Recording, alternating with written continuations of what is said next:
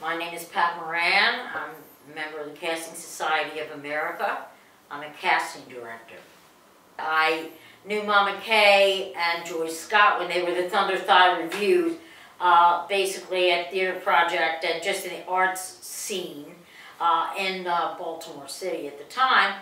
And then uh, Kay went on basically, and uh, Mama Kay, Mama Rashida, and they did Wombwork Productions, which they dealt with a lot of young kids and kids at risk. They practice what they preach, actually. I was a casting director and I had projects and I always called Mama Kay and said, look, let's get some of these kids involved.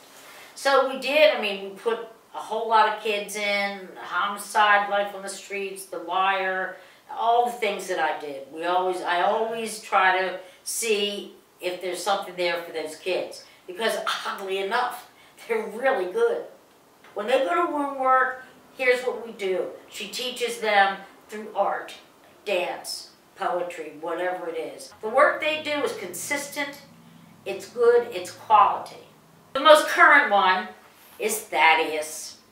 Thaddeus Street has an ongoing role in HBO's uh, and David Simon's uh, project called The Deuce, which is an HBO series. It ran, I think, eight episodes or so uh, last year, and then it'll come back this year. And Thaddeus has an ongoing role. I wish that they had all the money in the world and could build their own building, which would be Wombwork Playhouse or whatever it is.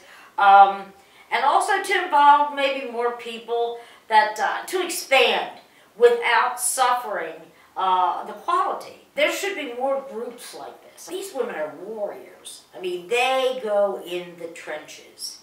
They rescue damaged freight and turn them into just terrific people.